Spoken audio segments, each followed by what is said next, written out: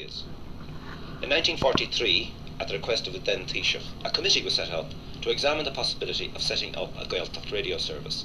The committee reports that the difficulties at that time were almost unsurmountable. Two years ago, Saor Radio Connemara, a pirate radio station, went on the air for a week here in the Connemara Gaeltacht. And today, at three o'clock, Radio na Gaeltachta went on the air from a new studios in Derrinay.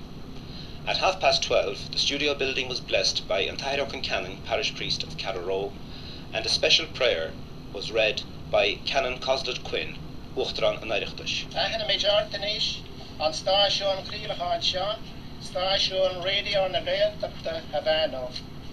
Ímpi me jarsa a cheardaí na crinne godáirítá agus go gríomh nató mechan an stáisiún is gahan éisteir i léna hantan.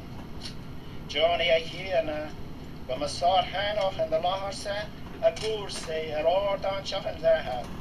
Agus a flirt now a shara was gom runna to ar a show na baha shiri. Ar che mei shi da lahar ne trino ja go bra. Amen.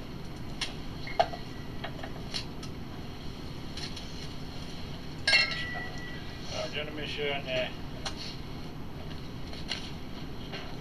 and he's uh, a ri an dáné agus ri a caske a loid tenge de héide agus de hen is héle de gedaspel looi lin an seo gejangé haar sennegus ar sinse agus ben in a déine a wees a gopper radioonveeltigte en sehaki Bal je sa wiari Jilegre na haskultinis ó ochtraan na heren a heilse éman devalere an tochtraan.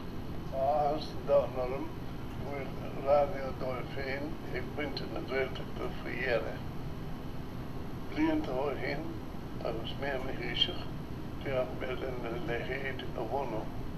St. Macdara's Church in Carna was packed for Radio na first live transmission, concelebrated Mass, celebrated by the Archbishop of Tuam, Most Reverend Dr. Cunnane, and six priests from the various Gaeltachti.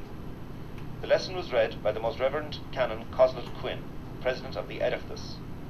Mass was sung by a choir from Connemara, Coolea, and a Dominican choir from Tallaght.